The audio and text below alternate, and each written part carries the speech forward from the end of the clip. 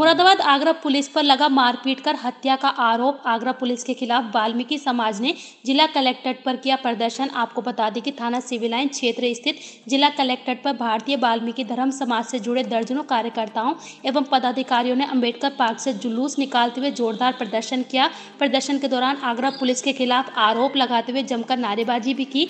प्रदर्शनकारियों का आरोप है कि पुलिस ने वाल्मीकि समाज के एक युवक के खिलाफ झूठा मुकदमा दर्ज कर उसके साथ मारपीट की। जिस कारण उसकी पुलिस हिरासत में मौत हो गई और पुलिस ने अपने आप को बचाते हुए उसे हार्ट अटैक का नाम दे दिया। जानकारी देते हुए वाल्मीकि समाज के नेता लल्ला बाबू दरबेड़ ने बताया कि जी आज किस संबंध में प्रदर्शन किया जा रहा है? क्या मांगे हैं? क्या आगरा पुलिस ने आगरा पुलिस ने राहुल वाल्मीकि को रियासत में लेके और उसको ख़त्म कर दिया मारते मारते। इसमें हम मांग कर रहे हैं कि जो जिस घर का वो मरा है उन्हें एक करोड़ रुपया दिया जाए, पुलिस वालों को बर्खास्त करके उन पर मुकदमा कायम करा जाए। पहले भी ऐसा हो चुका है। मुंडा पांडे में एक मुसलमान दरोगा थे। उन वो भी आज जेल काट रहे हैं। तो आगरा के जगदीशपुर थाने के पुलिस वाले या दरोगा क्यों क्यों नहीं जेल जा सकते?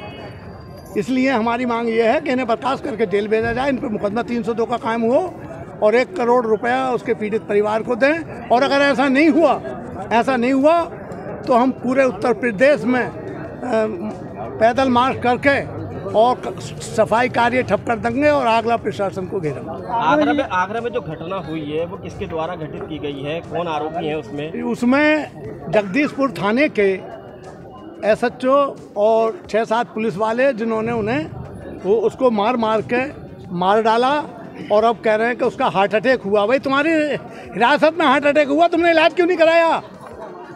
वो कहलवाना चाह रहे हैं कि माल से उड़ा दो कि किसी पुलिस वाले ने माल खाने से पैसा और लगा दिया उसके ऊपर। क्या पुलिस हिरासत में हुई है? हाँ पुलिस हिरासत में मौत हुई है उसकी। और यही तो हमें दुख है कि पुलिस अपनी कस्टडी में लेने के बाद में भी आदमी को मार देती है।